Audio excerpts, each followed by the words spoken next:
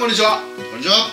うおチャンネルのしろっこです。すごです。よろしくお願いしまお願いすします。はい、えー、今日はですね、はい。まあいつも動画を見てくださってる方ね本当に。ありがとうございます。ありがとうございます。いつもはミニ四駆なんですよね。ミニ四駆やってます。はい。ミニ四駆やってるんですけれども今回から新企画がで新しいこと新しいことをねそ挑戦していこうかなとはい。思います、もう僕とペコさんもうずっと言われてますね。ずっと言われてるこ太った。太った。ペコさん太ったペコさんも夏から今にかけて太りました。でもまあ僕よりも全然細いんでね。太ってるの太ってるんで。太ってるのは太ってるんで。すけどもまあ、まだまだ細身だと。はい。いうことで僕がですねなんとスポーツをやめてから、うん。計算すると、はい。まあ、4 5 0キロ太ってる。一人分ぐらい。太っそう一人増えた。シロコ一人増えた。えー福岡にいた時代。っていうのが、まあ約4年前45年前になるんですけれども、はい。そこからもう3 0キロぐらい増えた。あなるほどです、はい。相当太ってるわけですよ。そう関東はね飯がうめえ。確かにね。関東は飯がうめえ。ね。でそしてね歩いたりしなくてももういろんなものがすぐ近くにあるからそれわかる。ほとんど動かなくていいいし家にももう好きなもの届けてくれるしそうですね。やっぱちょっと田舎暮らしの方が太らないかもしれないですね。それはありますはい。ということで今回始まった企画と言いますと、はい。何だと思います？もうもう太ってるんでね。うんやっぱり。減量。減量ですね。減量しないとこれそはう。減量していくんですけれども、はい。お料理番組が始まります。お料理？お料理番組。あれ？毎日出していきたいお料理番組ですね。ああなるほどね。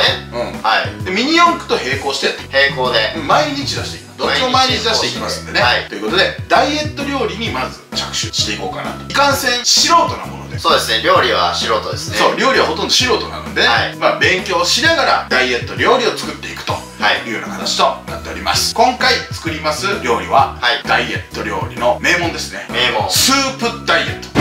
ープダイエットでスープダイエットでいこうと思います、そして僕たちが、まあ、とりあえず1ヶ月でどんだけ痩せれるかっていうのを皆さんにお伝えできたらなとそうですね。思います。ルールといたしましては炭水化物ご飯麺類取らない。なるほどね。一切取りません、うで朝ごはんはウィダーで済ませます。んウェイトリあの付き合いとかもありますからそうですね。お付き合いとかもあると思いますんでね、はい。夜は例えば外で食べたよってなったらご飯だけ食べなければ OK 炭水化物だけはそうそう。なるべく野菜を多く取ってほしいなというような感じになりますね、うん。でお昼は、まあ、サラダ的な。うんものを食べていただいて夜は動画で何かを作ったえダイエット食品を食べていただく。なるほどね。ような形となります、はい。一体何を目的としているのかと言いますと、はい。ビタミンとか取って体調を良くして、うん。ちょっと大きくなってくると、うあの動くのだるくなってくるじゃないですか。んなまあ確かにね。ね。だらけちゃうところあるよね。だらけちゃうでしょ、うん。でもね体が軽くなると自然にもうポンポンポンポン動くなるんで気づいたらずっと走り回ってるんですよ。そんなことある？本当にそんなことあるの？気づいたら走り回ってると思います軽かったら。そう。なるほどね。本当にご飯食べちゃダメだから。僕もペコさんもご飯大好きなんですよ。そう米好きな米が大好きでね我慢しなきゃいけない。でもペコさんはちょっとお仕事からねちょっとご飯に近い場所にいらっしゃいますので,、そうですね。食べないようにしてもらわないと。食べないです。まあそれはね結果を見てもらったら分かると思います。そうですね。減ってるか減ってないかと僕はね結構ガチでやろうかなと思ってますよ、はい。明日のジョーのねもう力石ぐらいになってやろうかなと。1年ぐらいでなろうかなと思ってますんで、はい、1年で。1年でいくということで、はい。えーじゃあ早速料理の方入っていってみましょうか。はい。どうぞ。はいということで、はい。今日は野菜卵スープ作っていきたい。野菜卵スープ。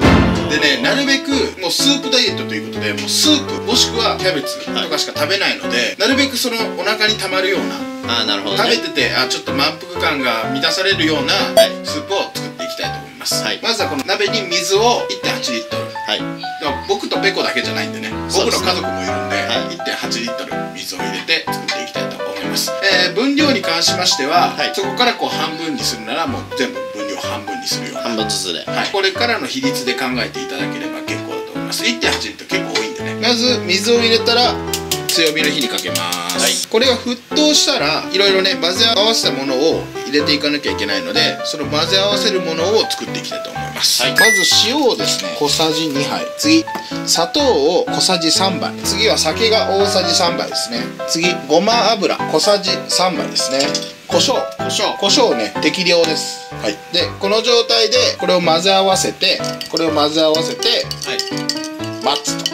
待つでもこれだとちょっと味あ怪しいじゃないですか正直、まあなんかね、まあ、匂いがするごま油のいい匂いがするんですけども、はい。これだけじゃないんですよ。で味をね決めるのはこれ出た。うわおっさん出てきた。おっさん出てきたこれ。あらおっさんやんこれ。これねうちの父です。このウェイパーを大さじ3杯入れます。沸騰してきましたので、はい。ここに先ほど混ぜ込んだねやつ入れていきたいと思います。おまあ、ほぼウェイパーです。ほぼウェイパー。ほぼウェイパー入れていきたいと思います。直接入れた方が良かったかもしれないあら鍋に鍋に。混ぜなくていいの？これもいろいろやこう直接入れた方が良かったかもしれん。こちらえのきですね。でえのき。玉ね玉ねぎ。ぎそして白菜と。白菜。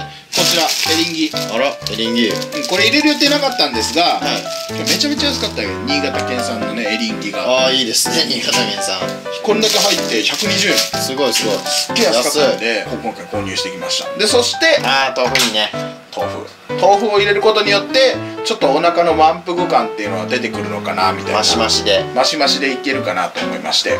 でこれをね全部細かく刻んで、はい。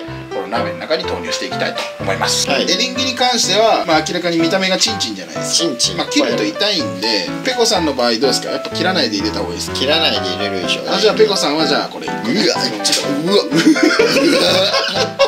はい、えーで野菜たちが入りましたんでね、はい。このままちょっと、えー、キノコとかに火が通るまでそのままこのままたぎらしていきます。はい。あれから23分経ったらね一気に火が通ったような感じになりましたので、はい。次の工程に移りたいと思います。行きましょう。そしたらねゆっくりとかき混ぜていくんですがほら見てちょいちょいいるでしょ？いるね。豆腐が、はい。これがなんていうの？ちょっと食べてる感のあるスープになるとなるほどね。いうことで軽く混ぜないとね溶けちゃうんでね軽く混ぜておきます。優しくだよ。はーい。で最後もう完全にまた炊けたら、はい。一回火を止めて大さじ1杯の片栗粉を水でね溶いたものですねこちら。はい。これをこの中に入れていくと。一回火を止めてからだよ。若干のとろみが帯びることによってうん。中華っぽい。中華っぽい。ダイエット料理捨てたもんじゃないね。これでダイエットできちゃうんだもんね。これでそうこれでダイエットできちゃうからね。あ。でもう一度これで弱火にかけてで卵を用意します。もうほぼね出来上がりましたよ。ー卵ね。あと卵人数分ね。まあ今回4人で食べますんで、はい。4つ入れていきたいと思います。火を止めてこうやって箸に伝わせながら落とすといいそうです。指でもいいんだよ。指でもいいかもしれない、うん。親指でもいい。親指に伝わせながら。親指伝わせながらた。でこれで固まるのを待つと少し。である程度固まったら完成となります。究極の究極のダイエット料理卵野菜スープですね。まあほぼキノコが入ってるんで卵キノコスープでも間違いないかもしれない。そうですね。これペコさん仕様なんでね。でっかいエリンギやばいよこれ真ん中これ食べ応えありますから。食べ応えしかない。なかなかいい出来なんじゃないですか？そうです美味しそうですねじゃあこれ早速食べてもらいましょうか。はい。もう相当お腹減ったから。お腹減っとる？もう食べていいですかこれ？いいよ。まだ寒いからね。いただきます。はい。うわーまずスープからいくこれ。スープからいきましょう。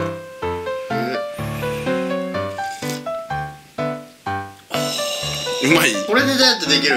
これダイエットできるよ。あらいけるんじゃないですかこれもうずっとこれもう朝昼晩これいける？いける？めっちゃうまい。あそんなに？ちょっと早く食べたいな。でかいエリンギだでっかいエリンギだこれよね。そいつね。そいつを。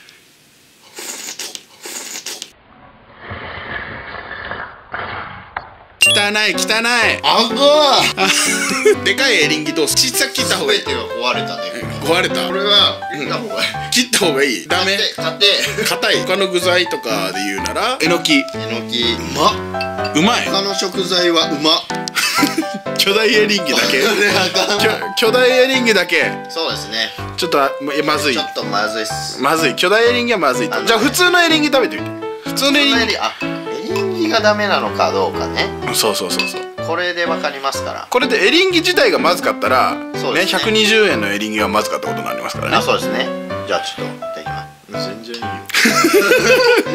そうでかいエリンギがダメなだけじゃん。だってこれ噛んだらエリンギの汁しか出てこない。